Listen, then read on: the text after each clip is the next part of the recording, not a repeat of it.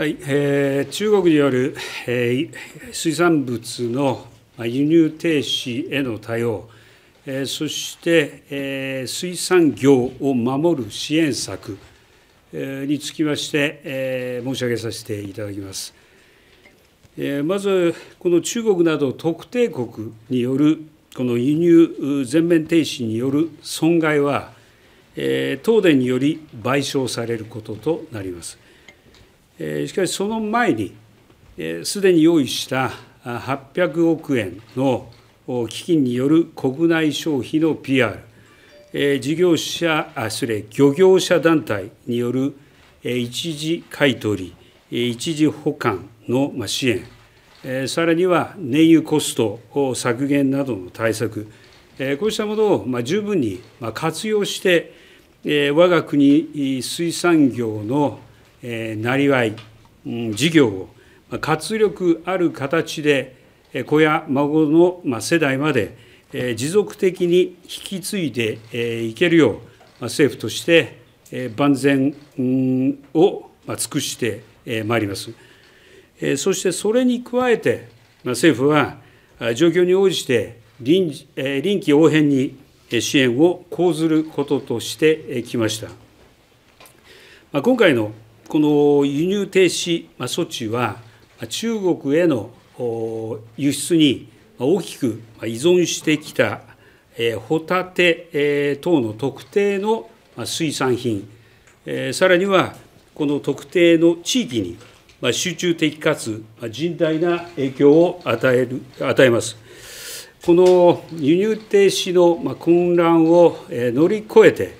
えー、中国市場だけにまあ依存をせず、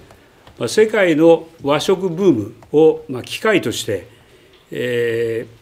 ー、持続的、安定的になり合いや事業が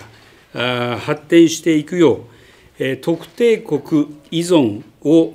分散するための緊急支援事業、これをまあ創設いたします。具体的には、空向き機の導入支援や、そのための人員確保の対策、さらには、新規海外市場への思い切った販売、あるいは流通の支援、こうしたこの必要費用、これを幅広く支援してまいります。これに加えて、既存の対策についても、国内消費、拡大支援など必要な積み増しを迅速に行い、全国の水産業支援に万全を期してまいりたいと思います。そして、ここにありますように、この5本柱で政策パッケージを来週初めまでに取りまとめるよう、西村大臣、野村大臣に指示をいたしました。とにかくスピード感が大事であると考えています。予備費の活用も含めて、機動的に予算の確保を行い、そして早急に実行に移していきたいと考えています。私からは以上です。はいはいえー、NHK の山田と申します、はい、よろしくお願いします。はいえー、輸入停止の撤廃に向け、中国政府に対し、どのように働きかけるお考えでしょうか。また、これに関連して、G20 や ASEAN など、国際会議が予定されていますが、日中首脳会談を行うお考えはありますでしょうか。また、一連の中国による措置は、経済的威圧に当たるという見方もありますが、中国以外の国に対して、理解獲得や販路拡大のため、どのような外交を行っていくお考えでしょうか。以上になります。よろしくお願いします。はい、はい。えっ、とまずあの日本はうんことこれまで、えー、具体的なデータ、まあ、数字を含めた説明を中国を含む、まあ、国際社会に対して、えー、行ってきています。えー、この日中首脳会談については、具体的な日程、何ら決まっているものではありませんが、まあ、中国等に対しては、これこれに応じたこの科学的根拠に基づく対応を粘り強く求めてまいります。中国に対しては、以前から科学的、専門的見地から意思疎通を行うこと、類似の機会を捉えて提案をしてきました。その際に日本側として、対応者、すなわち外務省であったり、資源エネルギー庁であったり、原子力規制庁であったり、こうした専門部局を、具体的に明示しながら、中国側カウンターパートに当たる関係当局との間で、科学的な意思疎通の実施について、具体的な日程も示しながら、今度、提案をしてきたところです。ま中国側には一刻も早く、こうした提案に応じていただきたいと思っています。またあの、これに加えて、G7 等の枠組みにおいても、日本が取り組みも含めた現状などについて、丁寧に意思疎通、あるいは情報提供、行っています。えまあ、こうした取り組みはこれからも継続していくわけですが、まあ、これまでま日本がこの科学に基づき、高い透明性を持って対応しているとの評価え、これは米国、豪州、あるいは太平洋島諸国、さらには欧州も含めて、多くのえ国からいただいているところです。あの具体的な内容、また各国の反応等についても、今後も可能な範囲で継続的に発信をしていきたいと思っています。今述べたような取り組みに加えて、米国や東南アジアなどに向けて、輸出先を転換するためのビジネスマッチングですとか、海外市場の開拓、あるいはブランディング、こうした支援を行っていきたいと考えています。以上です。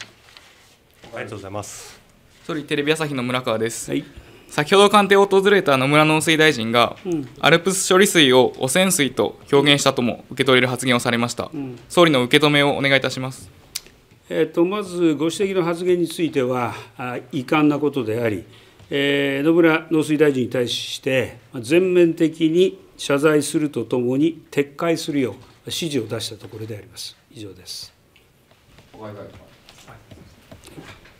あの北海道新聞の小林と申します。はいあのホタテやナマコはあの中国向け水産物の輸出額の半分を占めあの占めていると今、モニターでもお示しになりましたが、あの今回、新たに金融対象になった北海道などの漁業者にとってはあの今回の金融は寝耳寝耳に水だったと思います。であのその点も含めてあの今回の支援策のあの実効性について自信は総理いかがでしょうか？